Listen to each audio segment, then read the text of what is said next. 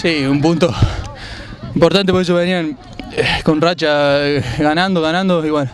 no le pudimos, pero creo que hicimos todo el esfuerzo, creo que demostramos que también nosotros tenemos un equipo, ellos vienen derecho, nosotros por ahí le falta un poquito la última puntadita. Eh, el EMA ahí se equivocó con los defensores y, de la, como tiene el delantero despierto, eh, la mandó a la red, pero bueno, ellos abrieron con una pelota parada que dormimos nosotros, dudamos ahí en marcar y bueno, los ganaron, creo que lo supimos aguantar y supimos ir a buscar el empate y creo que eh, fue un partido lindo para jugar y creo que eh, me queda la espinita, pero creo que el empate estuvo bien porque los dos equipos eh, intentaron jugar, creo que nosotros un poquito más cuando tuvimos la pelota, pero bueno, ya está.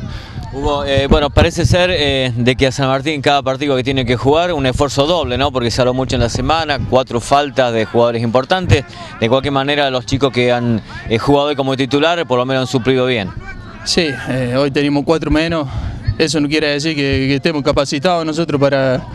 para lograr algo. Los que entraron no les tocaba estar, hicieron lo mejor y creo que es lo bueno de un equipo que cuando eh, falta uno, que el otro no se sienta, entonces que lo reemplaza tiene que estar con todas las pilas y los chicos que les tocó hoy lo demostraron perfectamente, que, que tienen ganas y tienen ganas de, de quedarse jugando en los 11 y demostrar que ellos también pueden.